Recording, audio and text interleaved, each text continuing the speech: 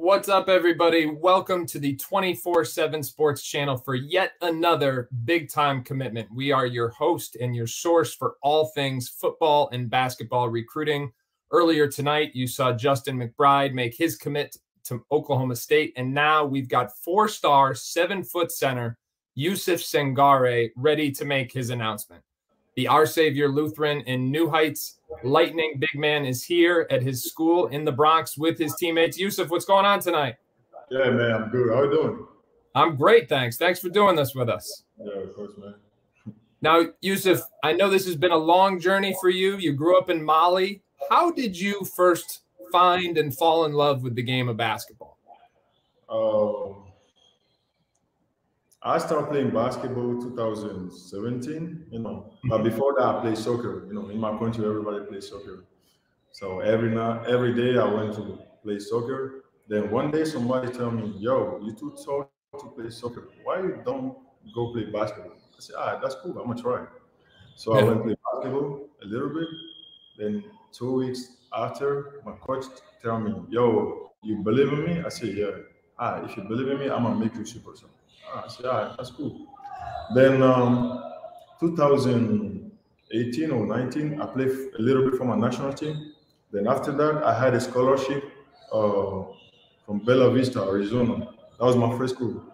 Mm-hmm. So yeah, that's you know that's pretty much. And that was your that was your first time coming to the United States to play, right? Yeah, that was my first time. I've been here like for two years and a couple months. No. Well, we got to shout out that coach who told you he'd make you a superstar. He must have known what he was talking about after your uh, your career playing soccer as a youngster. Now, before we talk about your finalists and you you make your announcement, I'm sure there is a list of people that you would like to thank. So I want to give you an opportunity to do that right now and thank whoever has helped you along the the uh, this journey of yours. Yeah. Yeah, for sure. First of all, I want to thank God, you know, for life, for my family, for everything, for the, for every opportunity he gives me. Then I want to thank all my coaches, everybody who helped me, who supported me, Coach John, you know, Coach Dre, Charlie Bamania, who's my guy, uh, Coach P. Wagner, you know, um, you know, everybody who helped me in my career, Coach Dana, Coach Shandu. Yeah, I want to thank everybody. And big thanks to my family who supported me. Very cool. Very cool. Now you are down to three finalists. You've got Seton Hall, you've got Connecticut, you've got Providence. So this is the moment, Youssouf. Take your time with it, but tell us where are you going to be playing your college basketball? Uh, for my next chapter, I will be playing my college basketball for UConn, man.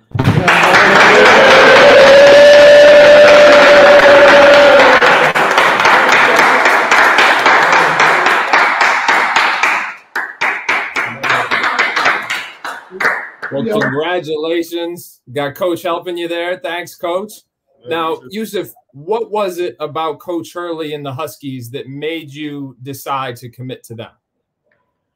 Uh, first of all, I've been in, uh, at UConn twice. Like I did two visits, so I had a chance to talk to the coaches and the staff, and I had a chance to watch how they develop, you know, the players. So after that, I had a great conversation with the both, with the coach and the staff. And for me, it's a great place for me to get to to get developed and to go to the league. That's my goal. Absolutely, absolutely. That's a great goal to have. Now, the last question I have for you, for all those UConn fans who've been blowing up our social media all day, who are watching online right now, excited about this recruiting class what would you tell them that they can expect in Youssouf Singare? What kind of game do you have? You know, the players who doesn't care about the state, you know, the players mm. who want to win every time. You know, I want to have my teammates, and you know, they they got a double coming, man. Absolutely, Youssouf. It's time for you to go celebrate with your coaches and your your teammates. Thank you so much for doing this, and congratulations on your commitment. I appreciate you. I appreciate Thank you, man